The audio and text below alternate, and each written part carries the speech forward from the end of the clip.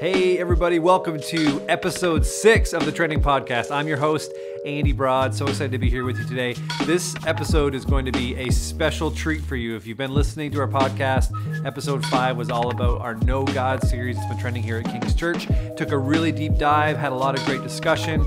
We found, man, we could have talked for a really, really long time on that. So we wanted to give you this episode as a special follow up. This featuring Pastor Mark Clark from the Village Church in Vancouver. British Columbia on this episode. And this this talk that you're going to hear today is the first time it's ever been released for public consumption. This is a talk with Pastor Brent Ingersoll that he did an interview with Mark Clark at our XY Men's Conference just a couple months ago, and they talked about Mark Clark's book, The Problem of God, which talks about apologetics and theology and all sorts of amazing content. It's an incredible book. If you haven't read it, you should get it. The Problem of God. Look it up. You'll hear a lot about it in this episode of the podcast today. But we want to let you guys know that, uh, man, this is going to be an amazing help to you in your faith journey, and you're going to learn a ton if you lean in. So, without further ado, enjoy this interview with Pastor Brent Ingersoll and Pastor Mark Clark from the Village Church. Privileged to have you here. So, Mark released a book last year called The Problem of God. And uh, I immediately liked it, not just because it was your book, but uh, I'm an A.W. Tozer fan. And that, The Problem of God, is from an A.W. A.W. Tozer quote. There's a, there's a meaning behind it. Why'd you pick that title? Um, because it has this, yeah, the, the, the, quote on the back by Tozer is all of the problems of heaven and earth, though they were to confront us together and at once, would be nothing compared with the overwhelming problem of God. That He is, what He is like, and what we as moral beings must do about Him. So, I mean, that's the thing. We got to figure that out. And so I loved the idea that it was a problem in the sense of, like um, a math equation to be solved, like a math problem, where God can actually, in some way, be solved in regard to rationale and following um, reason, not just faith, to actually deduce that it's more plausible in the marketplace of ideas that God exists than he doesn't. And then the deeper question of, okay, but what God? And that's what the book kind of delves into is these kind of 10 major questions about, um, about Christianity specifically that I explored as a 19 year old being confronted with somebody coming to me in woodworking class when I'm 19, never walked into a church till I was 19 and telling me about Jesus. And then me exploring as an evidential thinker, what about the history? What about the philosophy? What about the literature? What about the archaeology? What about the science? Uh, to deduce that Christianity really is the best idea in the marketplace yeah. of ideas. And so, uh, problem in the sense of a math equation, yes. but then also the kind of double entendre of problem in the sense of God actually is a problem for people. Like, yeah, and that's they don't like Tozer, the concept. Yeah, like that should do your your your Calvinist heart really well. uh, that Tozer, what Tozer was getting at is, yes. you know, I think, yeah, like all the problems in heaven and earth yes. you think are big, but then in actuality, if there is a God, that is the primary problem right. all of us have got to deal with. Yeah. Is the fact that there is a God. What do you do with that? Yeah. Um, that's I love I love it. So let me ask you this. So you, you you hinted towards it just a minute ago, like, and you probably tell some more of your story tonight and stuff. But um, you know, you grew up in an atheistic home. Yeah. And you you kind of had to really dig into this stuff on your own. What for you was your primary hangup early on with like Christians and people of faith? Um, what's what for you? What was the, the main? this is, this is the list. yeah. You know, your biggest no intellectual. Let's yeah, let's not go like yeah. philosophical or. Well, the second half of the book is actually moralistic. So there's the you got the you got the evidential kind of philosophical scientific stuff, but then you have the moralistic questions, which are oftentimes in our culture some of the bigger ones. I don't like Christians. Hypocrisy, hell, sex you know, these things, the, the reason behind the reason for people. And that, as an 18, 19 year old kid who grew up in a very skeptical home, was probably half the reason I didn't believe in Christianity. It was like, I don't want to become a Christian because what it's going to do to my sex life. Because what do you do as an 18 year old kid? You know, yeah. uh, and when you're in high school, other than smoke weed and party with girls, that's what I wanted. So when Christianity confronts you, you, you got, say like, what do you do as an 18 year old kid, just in general, or if like you, yeah, I, I what, what do you do as an 18 year old kid who doesn't know Jesus other than. all right, yes, yeah, well, hopefully. I, yeah, yeah. Yeah, like, but. I didn't do that, Mark. You know, let's pretend that it's much different for church kids, but yeah, it, probably isn't. Um, and so the reality is, right, it was the hypocrisy of the church. It was the hypocrisy of the church. It was the fact that I thought in my brain, when I walk into a church, it's the, the average age is going to be 100. It's going to be orange shag carpet and smell like mothballs. And I walked into a church and it was exactly your like that. That was the first, first church I ever walked into. But there was a hot girl doing worship music, and I was like, boom, I love Jesus. Bring me here again. All right, and then I married her, which was by God's grace very cool, actually. Yeah. So, that- uh, hang- anyways, no more hang-ups. Yeah, yeah. so no more hang-ups. Yeah. That was enough to convince me that God is real. So- oh, this girl's hot and she'll love me. All right. So- so anyway, you know, but there was the there was the science stuff. Uh. Which we can get in more specific. There's a philosophical stuff. There's the psychological stuff. I'm an evidential thinker. I've been an evidential thinker my whole life. I grew up. My family. Uh, my dad was a hard, hard atheist. Um, I opened the whole book by telling the story. So my brother's name is Matthew. He's four years older than me. Um, and my dad said, my mom wanted to call my brother Matthew, and my dad was such an ardent atheist. He said, I don't want any kind of biblical names. So he said, if you call him Matthew, spell his name with one T, because I don't want it to be biblical. So they literally, my brother's name on the license is Matthew with one T.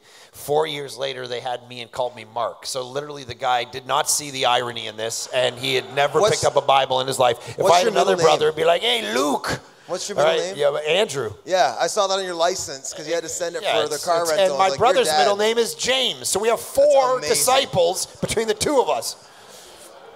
Anyways, my dad had never picked up a Bible before in his life. He just knew he didn't like Christianity. So, so that was the world I lived in. Uh, no church, no Bible, no prayer, not even Christmas Eve and Easter. None of that. None of that nonsense at all. Uh, and uh, so I, first time I walked in, I was 19, but I given my life to Jesus when I was 17 uh, or 18, and then just studied by myself for two years. Read the Bible, studied the philosophy, studied the science, studied the history, and got convinced that this was the best. Uh, so then I started to tell people about Jesus, and uh, I started telling people in my town they'd be sitting out in a park getting hammered, you know, 10 guys at once, and I'd be like, you know, smoking my cigarettes and, okay, listen, I need to tell you about Jesus, all right? And I would tell them about Jesus, and I would baptize them in, the, in Lake Ontario. I grew up in Toronto. Uh, at 2 o'clock in the morning, I remember baptizing a few guys at 2 o'clock in the morning. This was before I was baptized, so this goes just, a, this is bad ecclesiology. Yeah, um, and uh, anyways, yeah, just, here. just, yeah, two years before I'm ever baptized, I'm baptizing people. Um, anyways, so, so So- that was my yeah. I, I ventured into these questions, delved deep, and realized there was great answers. you had to start defending, defending the faith you had with your with your friends, and I think that's where Yeah. a lot of these guys, you know, that you know, out out in the world, you're you've got a person at work, they're like, hey, you're a Christian, you know, well, what what do you do with this? What in your experience, whether it was with your friends or pastoring your own community, Mark Mark's the pastor of a church called the Village Church in Vancouver. Uh, it's the fastest, got it, the fastest growing church in all of Canada. When did you plant it? Like eight years ago? Uh, 2010, January 2010. Yeah, it's unbelievable. Like there, there are five, six, seven thousand people. Uh, not, it's, will come to this church. Like it's crazy. So the guy that's never been baptized is doing this. So it's, it's amazing. But uh, what do you find? What do you? You've been baptized, I think. I've right? been I'll- I'll baptized I got now. right I've been here if you wanna- baptized okay. since then. Okay. I'm a Baptist, so what are can't you believe gonna do? you have not been baptized. Yeah, yeah, yeah. Uh, Nacho Libre? No. All right. Uh, have you? So when you when it comes to the, the, the people you pastor, the the friends you had, what was kind of the the most common problem that people have with the intellectual? You know, Now? just Or- just in general. Like, what's the one? What's the Well- one thing you face the most when it's like, hey, yeah, I know you're a Christian, but what do you do with this? What's the what's the most common? Well, you have the the ones that this is my point. You have the ones that they cite, which are science. Science has disproved Christianity. Okay, uh, so there's two dichotomies. There's dumb people. There's there's the classic dichotomy, right? There's there, you're on you're on uh, you're on the the news, and you have two screens, and you have the philosopher from Oxford. Uh, who's a scientist and a biologist, and he, of course, is an atheist and a naturalist. And then you have the Christian, and the Christian's from some swamp in Mississippi, and he's got four teeth, and uh, and you know, so plead your case, guys, right? And then so Christianity is immediately posited as something for dumb people, Right. versus naturalism, which is posited for smart people. So that was my whole life growing up. That's every friend and every family member I had. So what I've come to realize is there's all kinds of disastrous holes um, in building your life on naturalism, um, not only scientifically but philosophically. Um, so, for instance, um, a couple summers ago, I went home to do my grandmother's funeral, and uh, my naturalistic family, uh, who, who believes that everything I believe about heaven and hell and the afterlife is based on silly thoughts of an ancient story that's, you know, it's just Mark leads a cult. I'm like, I don't lead a cult. They're like, what did you do today? I'm like, I ate the flesh and drank the blood of a dead man. Okay, good point. Um, does sound odd, but uh, so they, of course, are, you know, like every naturalist, uh, atheist, they think that they just walked into the world with a blank slate and they'll only take, they'll only build their worldview based on evidence. They'll only build their worldview based on things that they can factually prove. And then a Christian builds their worldview, of course, on, um, on fancy stories and basically hopeful crutches, you know, during difficult times. So uh, I went home and I, and I looked at them and they, and they said something very interesting. They said, um, at least she's not suffering anymore. And I thought that was a very interesting statement because that's a metaphysical belief about the afterlife. And so I said to them, Well, how do you know she's not suffering more? How do you, what, what tells you that she's not, based on what? You, that was a metaphysical statement. That was a faith position you just gave me. Right. She's not suffering anymore. But how do you know that? Yeah. You've never been to the afterlife. That's a faith position you have. See, everybody has a faith position. The question is, uh, what do you base your faith position on? Right. Is it based on history, philosophy, literature, science? Um, the testimony of thousands of years? Do you build your worldview on that, or do you build your worldview on sitting around the dinner table just thinking up stuff that feels good one Yeah. moment, doesn't feel good the next? Listen, we have a massive contradictory philosophical culture that I was literally golfing with a guy who wanted to tell me. I talk about the idea of the problem of exclusivity in the book, the idea that Jesus is the only way. Of course, that's one of the massive problems, Yep, right? yep. And so uh, he looks at me, he says, You're a pastor. And we're golfing, and yeah, I'm a pastor. We're in Palm Springs. I'm like, Hey, look, um, I, I don't know you, but I think Jesus is the only way. And by hole three, he's just perturbed by this concept. Yeah. "Oh, I can't believe you believe that. Don't you know that that's going to create wars? Don't you know that's going to create violence? Don't you know that there's bad things that happen when people believe in absolute statements like that? And I'm like, okay, so let me ask you a question. I said, uh, what do you do for a living? He said, I'm an accountant. I said, you're an accountant. Okay, so your, your daughter comes home from school. How old is she? Oh, she's in grade two. I said, she's in grade two. So she does a test, and on the test, it was two plus two equals what? And she wrote five. She comes home to you and says, Dad, they I got it wrong. What are you going to say? Because you know, she thought it was five, and that should be good enough for her. Right. And he said, You know what? You're right. She's not wrong in thinking it's five. If that's what it is for her, then that's what it is. Yeah, come on. That was an actual conversation that I had. And I'm like, dude, now we're just being stupid. All right, now you've built your worldview on something that you want. Like, here's, here's the reality we're all getting along, but we're sacrificing truth for it. That's the worst sacrifice you can make Right. because we're all sitting around the table and we're not arguing. But listen, if Uncle Joe at the Christmas table is crazy and thinks the world is flat and man has never been to the moon, all right, if you're that guy, we should all not just sit around and go, Yeah, Uncle Joe, you're totally right. The Good. world's flat. Let's all continue eating turkey. You're going to go, Joe, you're nuts. Knock it off. I don't want my kids to hear that. All right? They're going to think that's actual fact. Hey, we have any flat earthers here? Any flat earthers? Yeah, flat earthers. All right. I there you go. All right. You can leave. Yeah. You're crazy. Uh, yeah. No, I'm just Anyways, the point is, is we got to go after truth, even when it makes us uncomfortable. Yeah. Yeah. That's And right. exclusivity is the thing. Of co- of course, we all exclude. Listen, Yeah. I um, when I wear a wedding ring, ring, ring around, this is this is exclusivity. This is a symbol of I'm not gonna sleep with you because I have a wife. Yeah. That's beautiful. That's not a bad thing. Yeah. And our culture has bought into this concept that no, uh, your truth is your truth, my truth is my truth, and whatever you because we all want to get along. Yeah. And I'm like, yeah, we can we can. On the one hand, we should fight. Here's the here's the d- distinction I make. There is um, there's pluralism. There's there's uh, ethical pluralism, cultural pluralism, which is beautiful, right? We should all live with Muslims and Hindus and, and atheists and agnostics, and actually we should fight for their right to believe what they believe as Christians. We should totally do that. We should work with people who we disagree with to accomplish great things culturally. Absolutely. Amen. But so it's cultural pluralism. But then there's metaphysical pluralism, which we make a leap into not only, hey, should I fight for your right to believe what you believe, but now we've jumped into a world where we say, and the fact that you believe it makes it right.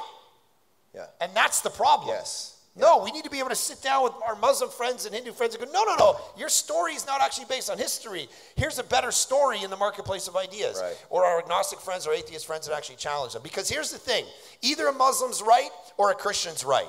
Right. An atheist is right or uh, a Hindu's right. They can't both be right at the same time Truth is exclusive by its nature. by its nature. yeah. Yeah. Absolutely. That's and the the And so that's one of the biggest challenges that, that I think we face, I face growing up and we face in Canada. I think that's the biggest challenge, not just in the conversation of of faith, but just morality and humanity now is this like Yeah. the, the erosion of of lines of people being able to say like no a dude's a dude and a girl's a girl i don't care how you feel Right. right, like that that stuff's that stuff's coming coming against more than just more than just faith um, so one of the biggest hangups people have actually let, me, let me let me go back one more on that because I don't want to miss that. Let's just role play for a second. So I come to you and I say, you know, for these guys, like if I if if they're at work or whatever, and I come to you and I say, hey man, like you you're a person of faith, I'm a person I believe in science. Like what's what's the, what's the quick retort to that? Well, I'm, I'm a person of science too. So um, I follow where the evidence goes, and then I make deductions based on where the evidence goes. So, so um, the classic narrative 50, 60 years ago um, was that as civilizations get more technologically and scientifically advanced, orthodox religion will die. That was the narrative. Uh, if you watch Star Trek, like the original Star Trek, um, there's no religions in, in the Star Trek of the 1960s because the thought was in the future, religion will not be a thing anymore. If you watch The Next Generation, there's all kinds of religion because by the 90s, people started to realize that religion actually wasn't going anywhere. That the deeper science delved into what it did, either on a biology level, on a cos- cosmological level, on, a, on the theory of mathematics level, evidence kept rising for theistic belief versus away from it. Right.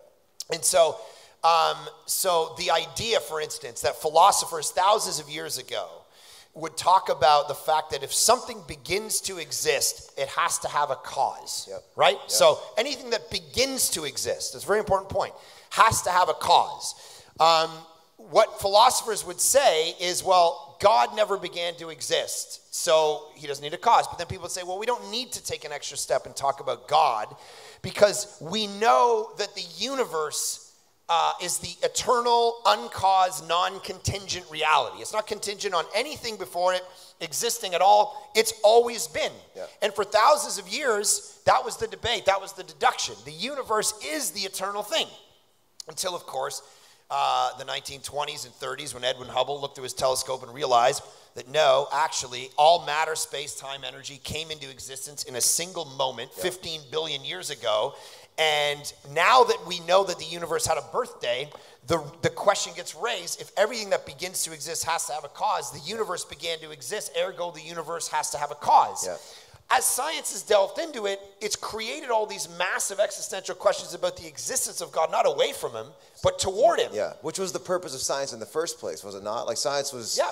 was developed by believers. Yeah, yeah, of course, yeah. And university is a 12th century Christian invention. Yeah. Harvard, Yeah. Brown, Princeton, Yale, all of them were all based on uh, Christian because it's the Christian.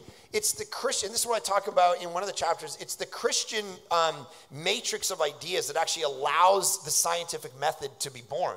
It's the con- you can't if you're an animist, for instance. An animist is like you know you believe that there's spirits in the trees. Yeah, okay, like Avatar philosophy. So so if you're if you have that philosophy, or, or First Nations, right? There's still a belief in that. So if that's your philosophy, you can't poke and prod trees and put them through uh, scientific exact because there's spirits in there, Right. All right. So you have all these. If back in Greco-Roman philosophy, that philosophy is not going to give way to science because why? Why is the water stirring up? Because Poseidon is is mad and he's swirling the waters around. It was Christian deductions about creation and order and the repetition of hypotheses that actually created the reality of science in the first place. The so Christian the Christian framework actually sh- it should work us to seek to know God more. Yeah. Whereas a lot of the pagan understanding, basically God was just this write off. Where it's like, oh, I have to ask that question because Yeah, obviously God. There's lots right? of gods. There's lots of you know things going on, and they're all crazy, and they're all fighting each other. And or um, you don't have a, a mandate where some see within Christianity, if creation has order, which is something that was vastly very interesting in the in the Christian world, birthed the idea of order. Yep. If you have order, um, then what you can do is you can do a test and you can get the same result over and over, which is, you know, the, the whole scientific method is based on this. Um, but if the world is chaos, which is kind of the Babylonian reality, the creation came out of these two gods fighting and, Yeah. you know, then, then you, there's no point in doing hypothesis and verification and observation. There's no point in doing any of that because you're going to have different results. It's not going to prove anything. Right. So it was Christian philosophy and, and uh, that actually created the scientific method to begin with. And then, of course, science has gone on to prove the order and the reality of God's existence. Uh, but of course, so science kind of sits there and it can either be used for theism or it can be used for naturalism and atheism, but you've got to stretch it a little more to be able to use it for, for atheism. Yeah, yeah, hundred percent. That's what I always find when I get talking to an atheist is, bro, you have more robust faith than I do because I can't, I can't stretch that far. Right. Yeah. Let me ask you this question. So a lot of people, a lot of people will come, and one of their big hangups will be, you know, uh, the, a lot of Christians will try to engage in like a faith conversation with a non-believer. Someone has questions, and they'll say, you know, they'll quote the Bible, where most people aren't coming in to say, what does the Bible say? Sure, yeah. Therefore, I'm going to believe. Right. What? How? How? How? What's the process? You know, for people like me who who grew up in church, I was I was brought to faith through the Bible, through that culture. But most people nowadays are are coming in, and the Bible's something you receive after as authoritative. Right.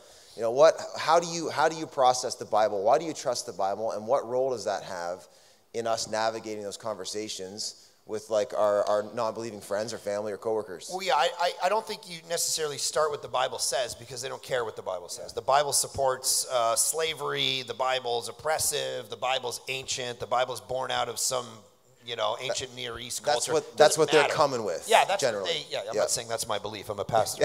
Just, just Jeepers, Brent, follow along. I think they're getting it. Okay, okay. Brent's having an existential like, crisis uh, up here. Like, Why did I invite this guy? I'm gonna let this guy preach at my church tomorrow. Uh, Uh, so, so no, that's what they're saying in their Okay, brain, right? yes, so there's I no point sitting, you know, at you. the coffee shop and going, "Hey, well, you know, John three says this." Now there does come a point where John three is going to massively explode their heart and their life and their mind. Yes. Always, of course, and, and, and it's the scriptures that are going to actually have that power. But um, to begin with, I always start with what are their major hangups and then start to talk about the logic and the rationale behind those hangups. And my core responsibility, at least mine anyway, I feel, um, um, is to is to deconstruct their worldview and show them that they've based their life on a worldview that doesn't actually work in the end. So, for instance, um, if they come to me and they say um, there's too much evil and suffering in the world, okay, which is a massive reason that people don't believe Yeah. in Christianity. So um, I'll begin to explore with them. Okay, well, that's not a Christian problem. First off, that's a, that's a that's any worldview has that problem. So if you're an agnostic or you're an atheist and you say Right. um, there's too much evil and suffering in the world, my pushback to you is where did you? Uh, I had this conversation with uh, my cousin actually about um, uh, about a year or so ago. He he's an ardent atheist, like one of these like jacked up, like Mark, what you do is the dumbest thing on the planet, atheist, like hardcore.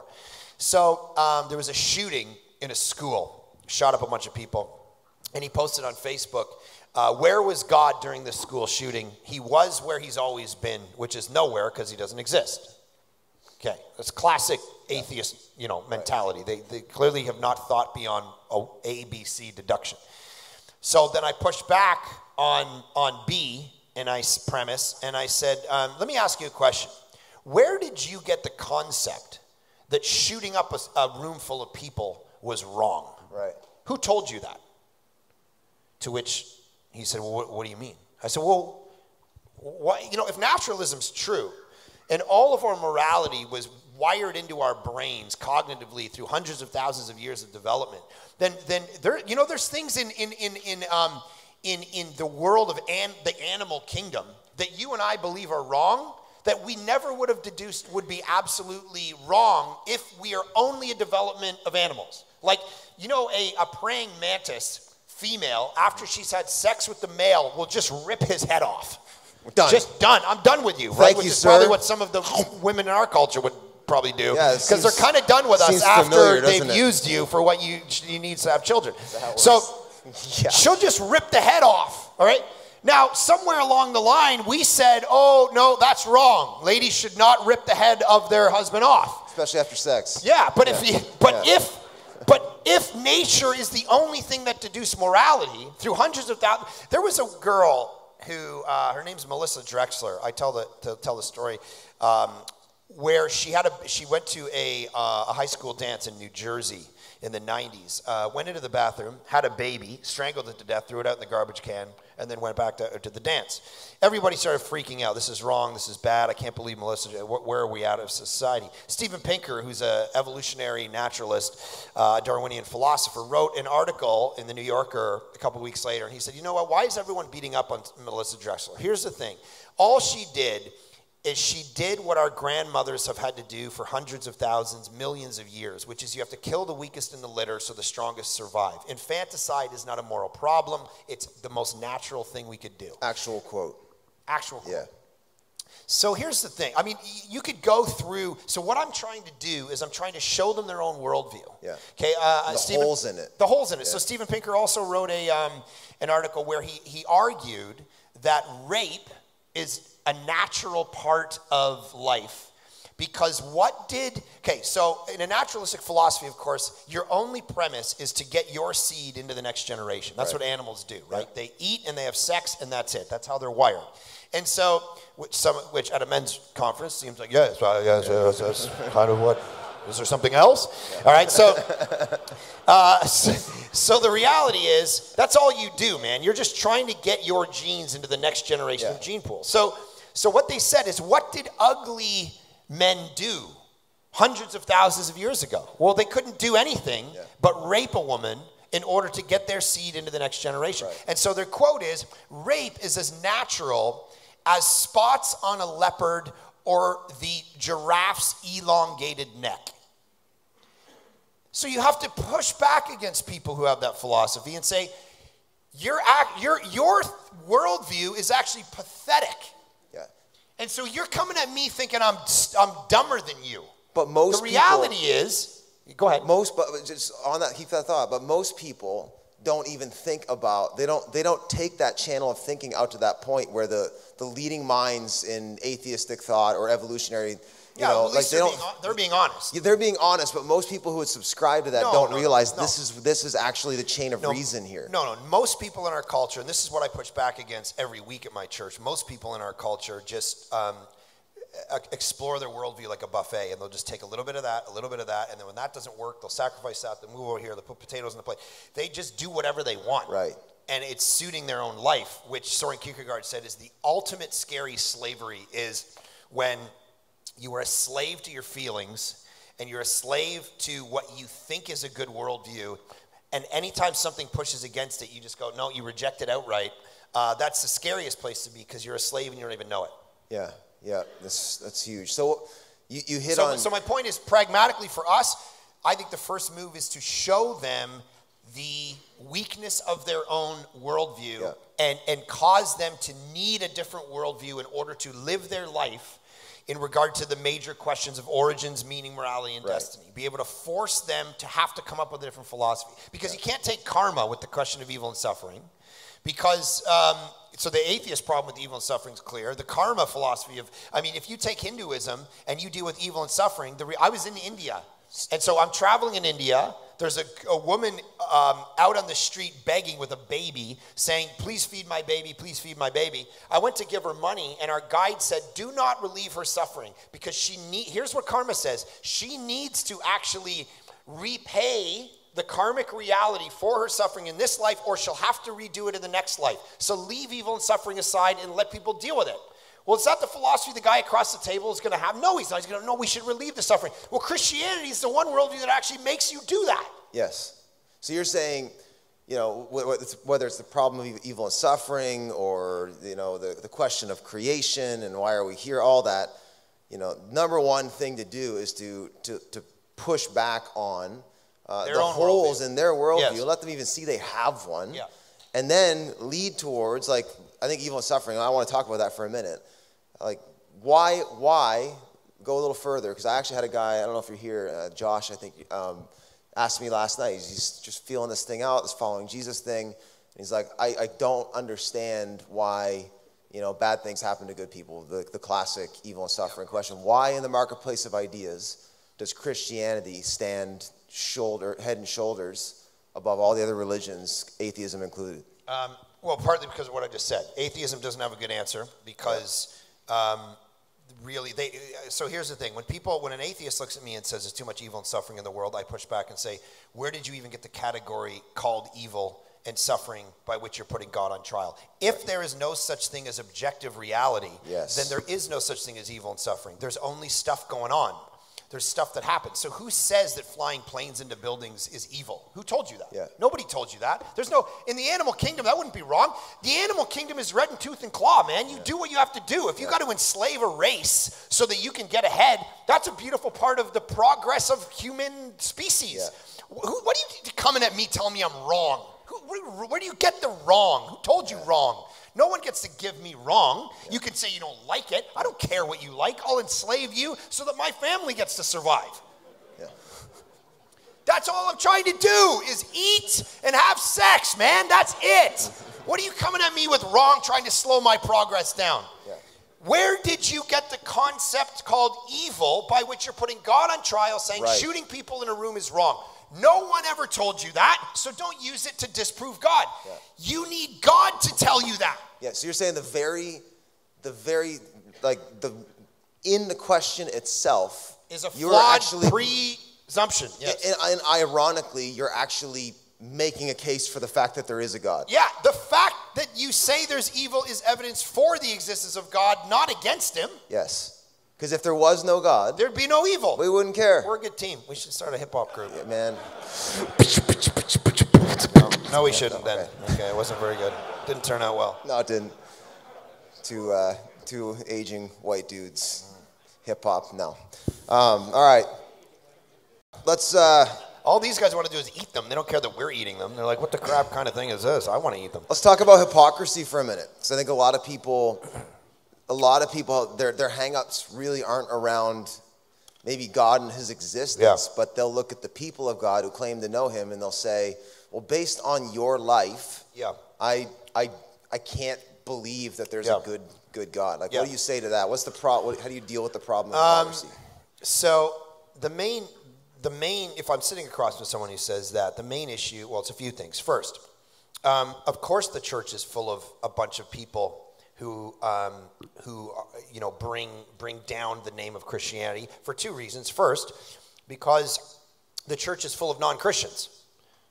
Jesus told us that Matthew 7 it's full of false disciples. It's full of people who not they weren't he says there's two things going on in Matthew 7. There's false teachers that deceive people Yeah. and then there's people who've been self-deceived. So there's people in this room who think they're Christians and they're not. They were born in church, uh, got raised in the church, got married in the church, serve in the church, have their funeral in a church and will wake up in hell because they don't actually know Jesus. They know religion. They know things externally, right? Yes. They wake up eating one of these. So, uh, so there's full of the church is full of false disciples. So of Yeah. course, of course, the church is going to kill a bunch of witches and run around having wars based on nothing because they're not Christians. They're fighting geopolitical wars and and wrapped up in some kind of way. So so that's what that's That's even- not generally the problem, though. The problem usually is in the real disciples that Yes. So there's false disciples, just Yeah. people who then there's actual Christians who are a complete wreck, which is every one of you. Right? you are narcissistic beyond belief, depraved, sinful, wretched, poor, pitiable, blind, naked. I mean, this is all Revelation 3. It's all Jesus, not me. So, all right, deal with the Bible if you are offended, you know. Um, Listen, you are such a disaster. Of course, you're going to make mistakes. And I look at people and say, My church is full of these people.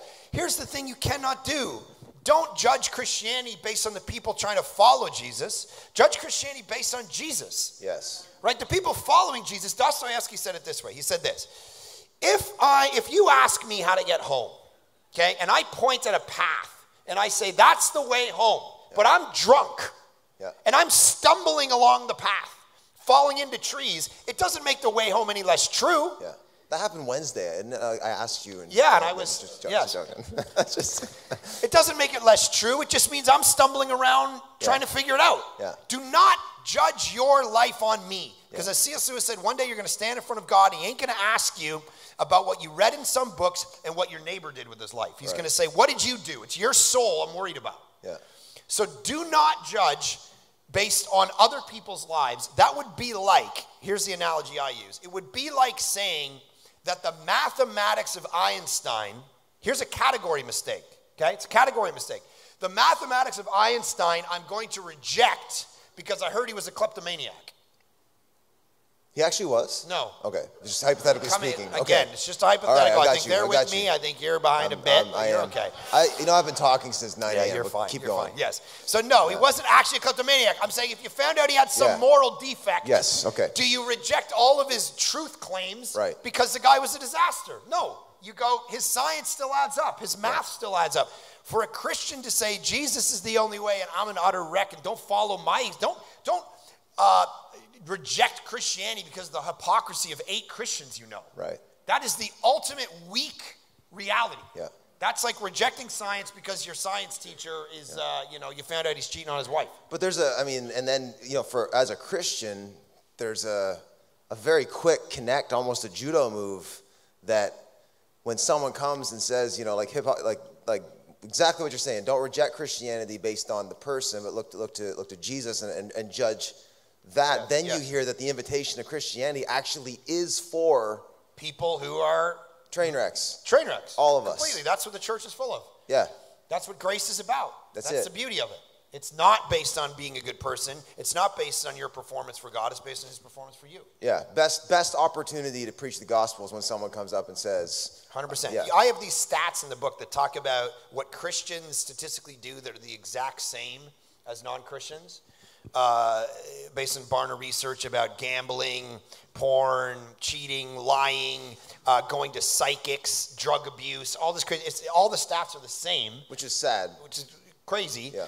Uh, the only stat that is different is based on recycling, and atheists recycle more than Christians do. So it's like, we've got them talking about right now. But I mean that it's sad in the sense of I think we have a we Jesus had a more robust idea of what his grace was able to do in the life of a person and actually bring transformation. Yeah. But it's it's it's beautiful in the sense of he did not come to call the healthy, he came to call Right. the sick. Yeah. Like that's the whole point. Yeah. Beautiful. Yeah. Um, let's go another let's go uh, here's another one. Um, I also, I also think there is some, um, some slowing down the tape and, and, um, and working through data with people. So, for instance, I talk about the fact that Dan Brown, you know, in Da Vinci Code talks about how the church maybe killed, you know, five million witches during its time. Well, Yeah. five million witches would have been like 10% of the population of the entire earth. So it's insane. No historian thinks the church killed 5 million witches. In fact, when you actually do the data, you have a few spots where some witches were killed, others that were imprisoned, and most historians look and go, there were maybe 26 people killed in the so-called witch trials that were the churches out there. So you got to slow. It's like these conspiracy theories, right? Right. You got to slow the tape down. Everyone, calm down Yeah.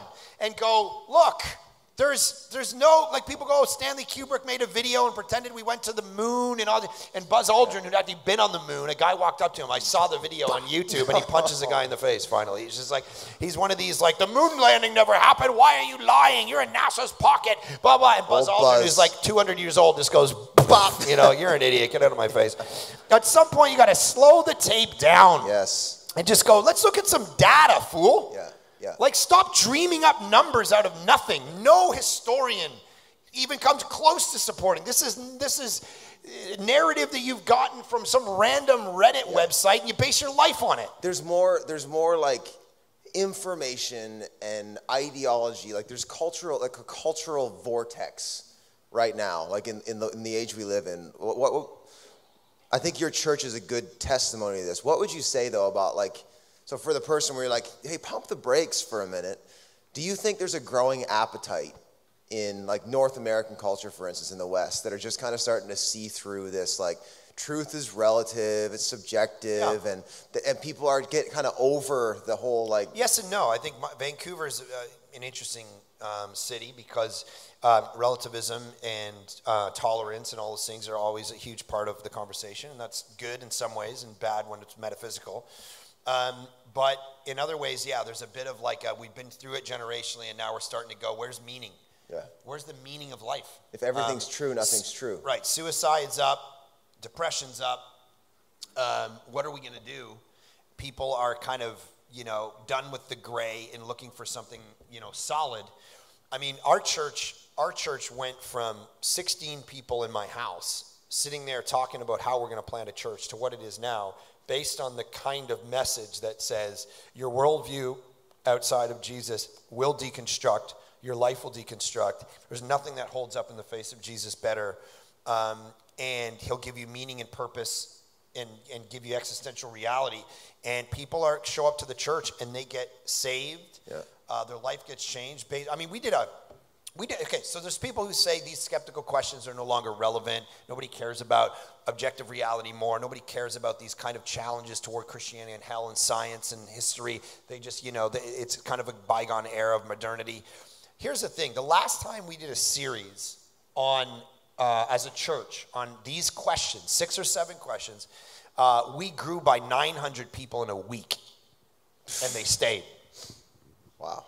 In a week. Yeah, that's crazy. We didn't know what to do with them. In Vancouver. In Vancouver. Yeah. We're like, we don't know what to do with any of you. And so we just looked at them. We said, if you're a Christian, don't come back. Go to find another church. We need these people here.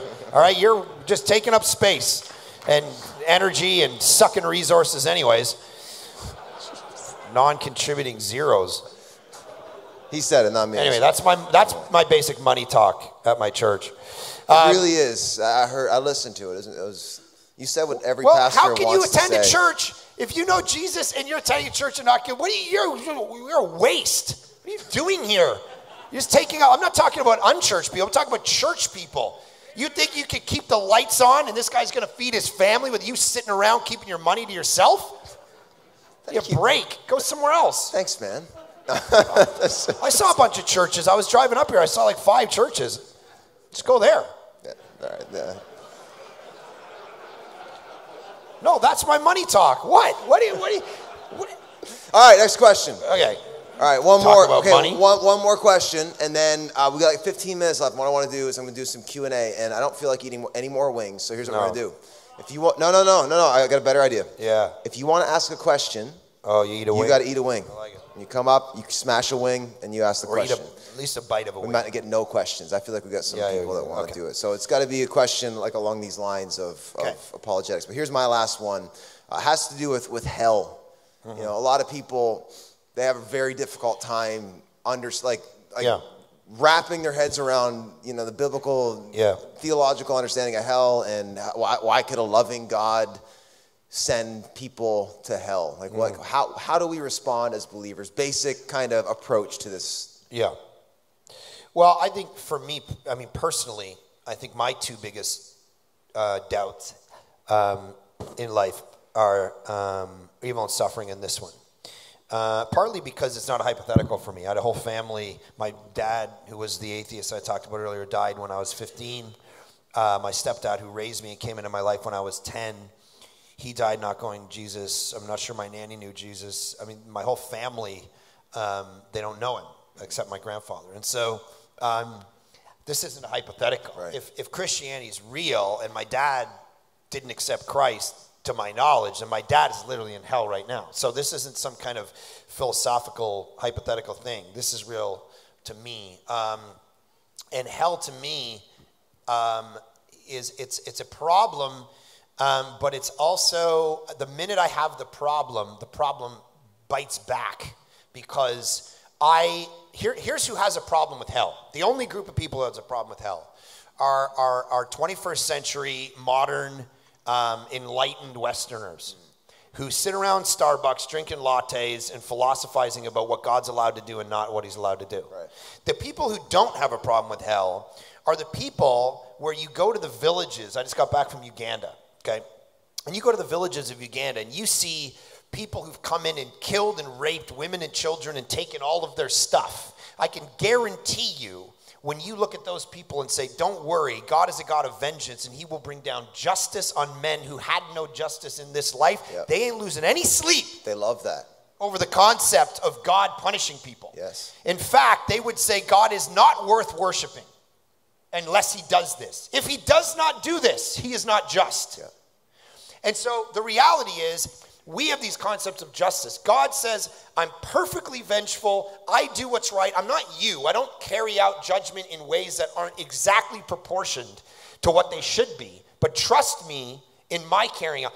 If, if you have a rapist, if you have a murderer, we want justice. There's something in your soul that wants to have justice actually happen to that person. You don't want just to get them off. Well, this is the reality of what God does. He brings cosmic, real justice. And if you listen, walk up to a Palestinian and a, and a Jewish person and say, "Don't worry, everyone's all going to heaven when we die. You'll all be there. Don't worry about it. Let's see how jacked up they get."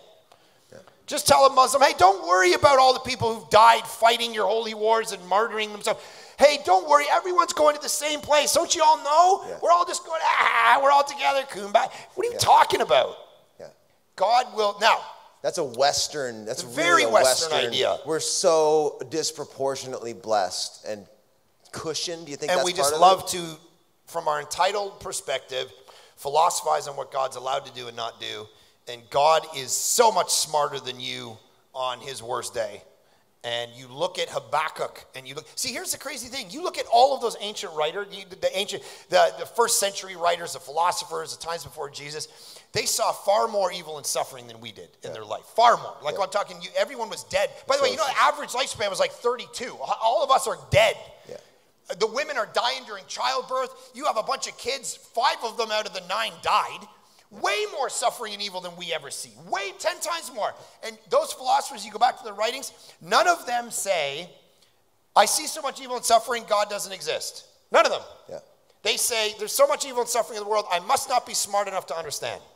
Until the Enlightenment, when we heightened rationalization and mm-hmm. reason to be the ultimate arbiter of everything that's true, Yep. and then we go, oh, my brain should be able to figure out why this exists. And Alvin Plantinga, who's said to be the greatest living philosopher in the world, he's a Christian, um, he makes this point. He says, listen, um, let's say you take something like a St. Bernard dog and something called a no-see-um, which is like this little bug. It's a little insect in the Midwest. And so he said, if you go into a tent and you look into a tent and you ask the question, is there a St. Bernard in this tent? You look around and you wouldn't see it. You go, okay, there must not be. But if you open a tent and you said, is there a no-see-um in here? Uh, you, would, you would probably be wrong if you just said, I can't see one. And he says, why, when it comes to the question of God and evil and suffering, do we look and we say, um, hey, there's so much evil and suffering in the world, God must not exist like we're looking for a St. Bernard? When the reality is, there might be reasons that you cannot understand or cannot see that should humble you before the question rather than deducing, I can't see it, therefore God doesn't exist. Yeah. Why is why is for the Christian why why is hell in, in one respect good news? Why is God's judgment good news? What does the gospel have to do like with well, that? partly because it doesn't leave, it doesn't leave evil and wrongdoing. Undone. Like my mom, my mom doesn't believe in Christianity. I had a conversation, had this conversation with my work. Why do you believe in hell? Why do you believe in hell? So I opened up the newspaper. I said, okay, here's the story. This guy uh, raped and killed these four girls, buried them in his backyard. What do you want to happen to that guy? You want him to go to heaven? No. You want him to just not exist and get away with it his whole life? No, I think he should go to jail. Why do you want him to go to jail? Why does he go to jail for? And it's interesting because people say, well, no, no, no, you don't understand because we only sin for 80 years, we shouldn't suffer for eternity. Listen, judgment is not evaluated based on how long it took you to do something. It could take me 30 seconds to shoot you and kill you. I'll go to jail for, you know, well, in Canada, I'll go to jail for, you know, nine months and, uh, and get a law degree. So, uh, it's not based it's not based on how long it took you to commit a crime. It's based on the severity of the crime. Right. so now we're dealing with a god. There's a there's a um, there's an increase in essence okay in, in philosophy. So if uh, if let's say i okay here's here's a, if i'm driving down the street and i drive over a um, a ladybug okay is anyone stopping me? No. If i drive over a cat is anyone stopping me Probably I- not. probably not. Hopefully, it's like a bit of a cheer in the neighborhood, you know, because they're straight from the gates of hell, by the way, cats. Um, all right. And so, but I might get out of my car. I might look around. Oh my gosh, a neighbor comes out. Oh, killed a cat. Who's is it? ah, tough. And they're like, just go. All right. Now, if a little kid runs out and I hit him, I'm probably stopping and figuring it out, right? Because there's a chain of essence Yes. That we know that kids have a greater essence than cats and ladybugs. Yeah. So when you're dealing with God, who is so beyond. When you've wronged him, the wrong has a kind of um, judgment to it. You've done it every day. You didn't just do it once, by the way. Yeah. You wake up every day. You know what? Hell is the expression of not one decision to follow Jesus or not. It's the millions of decisions you make every single day to curve your Against soul God. away from Him Yeah. rather than toward Him, Yeah. echoing out into eternity. But here's the thing for a Christian it's also perfectly done to each and every person. So it is not the case, and I think there's a biblical case for this, that Adolf Hitler gets the same as random Joe, non Christian. That's not the case. Every single judgment passage in the Bible, John 5, Romans 2, Matthew 25, Revelation 21, over and over and over again, here's what it says I open up a book and I figure out what you did. What did you do? What did you do? What did you do? And then you have these passages where Jesus goes, That city's going to suffer more than that city.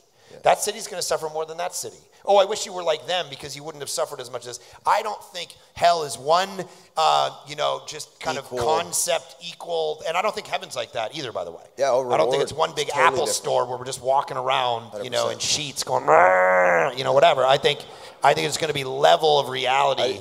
uh, and, and anyway, that's another Jesus conversation. seems to speak that way, but why? So, I think I think that's true. But why is the gospel? Why is the gospel good news then? In, in the well, the gospel is the sense that Jesus took hell for us. So that we wouldn't have to take it. yeah, That every every concept of judgment, this is you know this is John three, where the wrath of God remains on you if you don't believe. But if you believe, then the wrath goes to him, and you're standing behind this rock. You know, so in the sense, he took the hell, the, the emotional, the all of it on Spiritual, himself. physical. Um, and it would have felt so much more like hell to him because you know as one writer said even for the incarnation to be true it's like it's like us becoming a slug or a crab. Yeah. he lived in such pleasure and delight and glorification that when he becomes a human being it'd be like us becoming a snail for 40 like and not only for 40 actually. There- there's great theologians that talk about the fact that his his sacrifice is often not talked about. His sacrifice is actually forever. He is forever a human being when you see him he, he uh, glorified as a in- human. He's a glor- in a glorified state. But when he decided to limit himself, he there was something about it where he had- the limitation was eternal. Yeah. It wasn't just for 30 years and then he went back to exactly what he was doing before. Yeah. It's it's he went back to a glory as he talked about in John 17, but it's different. When Revelation five says like the worship, the worship in eternity actually surrounds the Lamb who was slain, right? Like yeah, what? which is a beautiful thing coming back to the evil and suffering because in Christianity you have the one concept where God actually came and suffered for you. Yeah.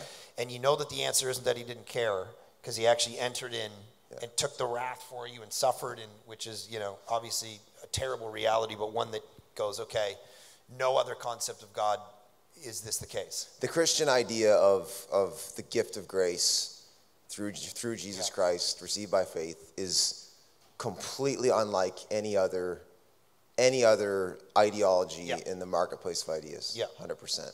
All right, let's, we got like six minutes left. So anybody have a question? Oh, we got lots of questions. All right, all right, all right. Them- let's go, uh, let's Take- go, let's go back here. Walk- walk. Uh, come on up, come on up. Everyone wants to see your face. So, yeah, yeah, yeah. You didn't even eat one, did you? You I faked did, I it. did. I ate this you one. faked I it. fainted. You faked it. All right, all right. What's your question? And then based on the question, I'll, I'll decide what, what wing to give you. Uh, I just wanted to ask your thoughts on um, mental illness because that's a huge topic, and just what your just in general what your thoughts are, and and uh, just how we can minister to people Yeah. with those experiences. For sure. Try that one right there. That's third hottest. It's good. It's tasty. Try it. Yeah, just take a bite and let's see. Oh, it's Here, put that. If you can eat the whole thing, it's tasty. Is it hot? you can take it. All right. A little hot. Um, Is it picking up? All right. Enjoy.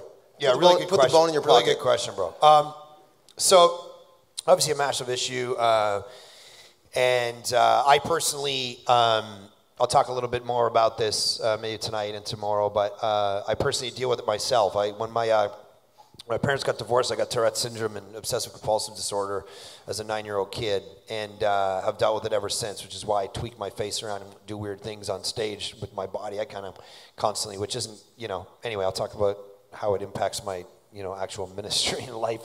Um, so it's something I've dealt with uh, myself, and um, I think the church needs to be able to uh, obviously love and come alongside them and be able to call a spade a spade and not just over spiritualize everything.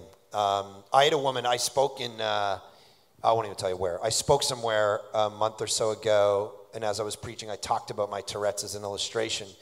And I talk about it um, in a way where God gets glorified. And so, and this woman sends me this message.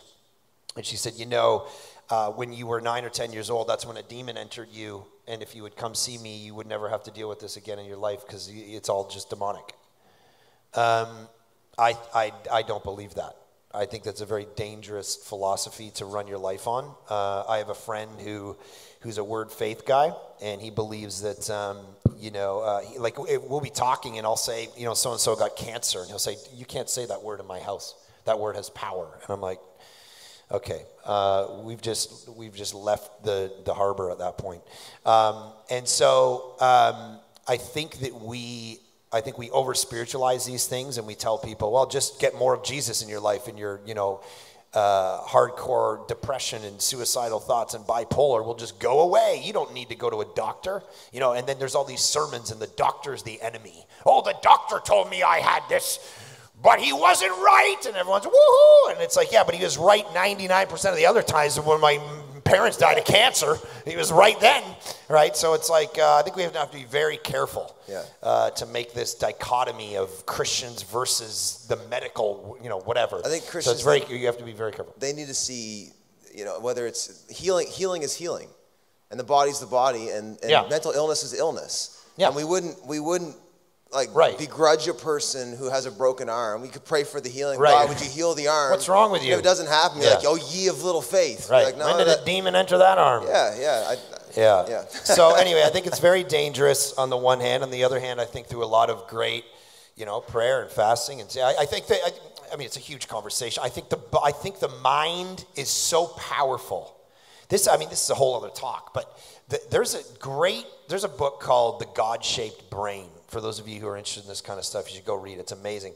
It's by a medical doctor who talks about the power of the brain and talks about the, actually a concept of um, the big thesis of the book is the concept of love versus the concept of judgment. When, and when somebody actually has as priority a concept of God as judge, they actually function different in life than if the overwhelming concept is a God of love. He's actually wired their brains up to predict these things and see the chemical responses in their brains because, of course, you get you know highways in your brain get carved out uh, through certain activities. And so uh, the book opens with a story about a guy who goes to the doctor and he's sick, he's dying, and they're like, "Oh my goodness, what are we going to do?" And he finally confesses. He's like, "I've been dealing with this for a month.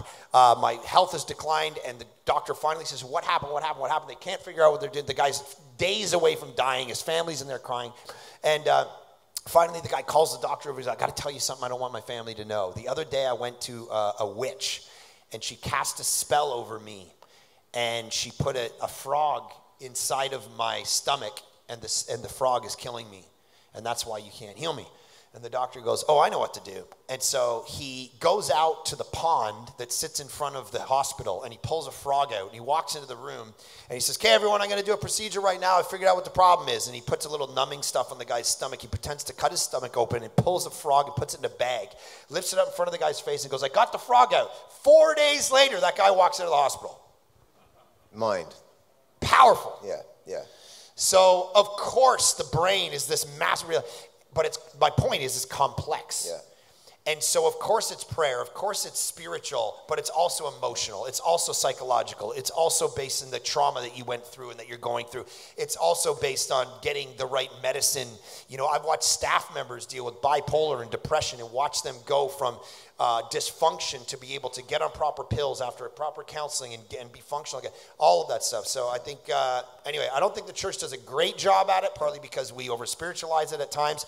We ignore it. But with the rise of suicide among almost every single demographic inside and outside the church, uh, it's very scary. And I think the church needs to figure out a way to deal with it well. Yeah, I mean, the gospel, I mean, again, it, to come back to the gospel though, um, there obviously there's, there's common grace. There are doctors, there are medications, and that's, that needs to be okay. At the same time though, I mean, you've, you've seen the power of the mind and, the, and God's ability to renew it and change it. I mean, you got like, I'm, I'm sure you'll, you'll hit maybe some of this sometime this weekend, but like, you've come a long way in your struggle with your mental illness. Like, you've seen that. Yeah, God's grace is amazing. And the power of the Holy Spirit, the mm-hmm. same Spirit that rose Jesus from the dead, is the same Spirit that's alive in us. Um, there's a beautiful reality and a lot of healing. We do, uh, you, you talk about Celebrate Recovery. We do something called Freedom Session. The guy Yeah. started, actually works at our church.